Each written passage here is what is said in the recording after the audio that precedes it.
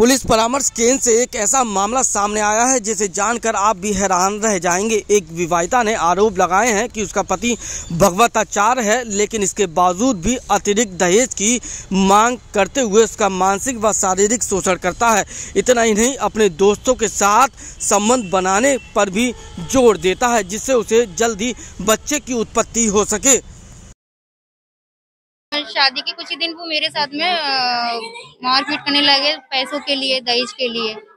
और जब उनके घर में पहुँची तो जब मुझे पता चलता है वहाँ पे कि वो, एक सब फ्रॉड है उसका पूरी फैमिली उसका नाम झूठा है उसके परिवार वाले सब झूठे हैं और मुझे मारता है वो। शादी के एक महीने के बाद ही उन्होंने मुझे मारना शुरू कर दिया गाली गलोज शुरू कर दी। बच्चे के लिए फोर्स करने लग गए कि मैं बच्चों के लिए कुछ भी कर सकता हूँ।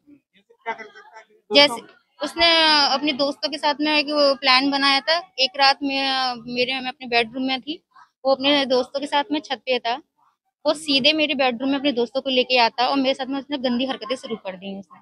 मतलब मेरे साथ में मतलब वो कोशिश करी थी सारी लड़की के साथ में नहीं करना चाहिए। तो इन दोनों दोस्तों ने और पति के साथ पुलिस परामर्श केंद्र में जिसने भी ये मामला सुना, वह सन रह गया। फ़िलहाल काउंसलर ने भगवताचार को नोटिस भेजने की बात कही है। अगर वह तारीख पर नहीं आएँगे तो मुकदमा दर्ज कराने की बात कही गई है। आरोप लगाया है कि वो भागवताचार होने के बाद भी बहुत ही अशब्द, बहुत ही गंदे शब्दों का प्रयोग करते हैं और पत्नी से दान दहेज की लालसा भी रखते हैं, जिसके सहते उनका परिवार बिगड़ रहा है।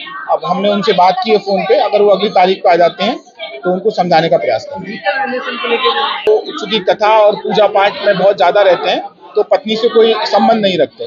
दोस्त दोस्त को भी घर पर लेके आए पत्नी का कहना है। हाँ उनका कहना ये है कि जब वो भागवत चाह रहे हैं तो बहुत सारा घर में एक उस तरह का माहौल होता है और बहुत सारे दोस्त वगैरह आते हैं और वो दोस्त उनकी पत्नी से भी कुछ इस तरह से बातें बातचीत करते हैं जो उनको पसंद नहीं आती ये लगाया है कि वो मतलब संतान की उत्पत्ति चाहते हैं।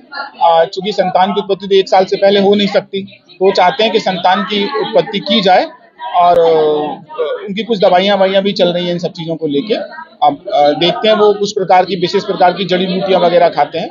वो अगली बार जड़ी बूटियाँ लेकर आएँगे, फिर देखते हैं कि क्या।